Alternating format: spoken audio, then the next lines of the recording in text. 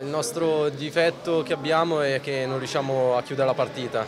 Siamo riusciti a creare tantissime occasioni nel primo tempo, il rigore, il rigore purtroppo si sbagliano, quello è il calcio, ma è un nostro grosso difetto che non riusciamo a chiudere la partita. Per quanto riguarda il secondo tempo siamo calati fisicamente, lo sappiamo tutti e stiamo lavorando col mister e lo staff per eh, cercare di migliorare la nostra prestazione atletica e faremo del nostro meglio. Noi lavoriamo col mister, eh, anche in allenamento vuole che segniamo sempre, anche i gol più semplici perché se segniamo durante l'allenamento in settimana ci viene facile segnare anche la domenica.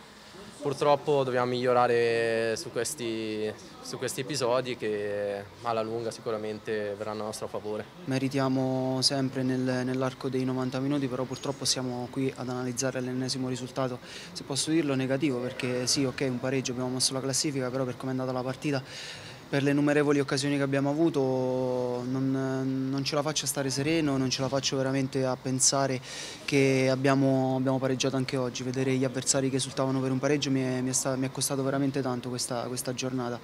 E che si fa in, questi, in, questo momento? Si fa quadrato come sempre insieme alla nostra splendida gente perché il contributo oh, c'è dall'inizio alla fine, anzi il complimento forse va soprattutto a loro perché in questo momento delicato in cui non, non andiamo ad analizzare sempre le solite cose, però loro ci stanno dando una mano incredibile e noi veramente se avessimo vinto oggi era tutto, tutto per loro.